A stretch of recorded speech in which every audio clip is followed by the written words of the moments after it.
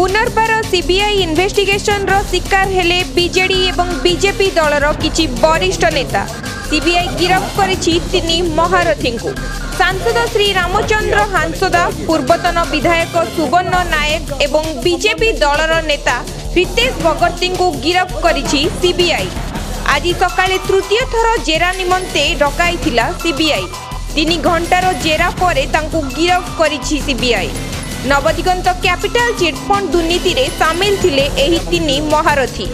କୋଟି କୋଟି ସମ୍ପତ୍ତିର ହେରଫେର ହୋଇଥିଲା ଏହି ନବଦିଗନ୍ତ କ୍ୟାପିଟାଲ ଚିଟ୍ଫଣ୍ଡ ସ୍କାମ୍ରେ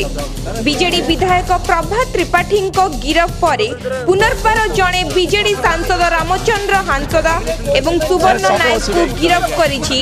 ସିବିଆଇ ରାଜନୀତିର ଦୁଇ ପ୍ରମୁଖ ଦଳ ବିଜେଡି ଏବଂ ବିଜେପି ଦଳର ଏହି ତିନି ରାଜନେତାଙ୍କ ଗିରଫ দল উপরে শক্ত আঘাত পকাইছি গোটে পরে গোটে বড় বড় রাজনেতাঙ্ক গিরফ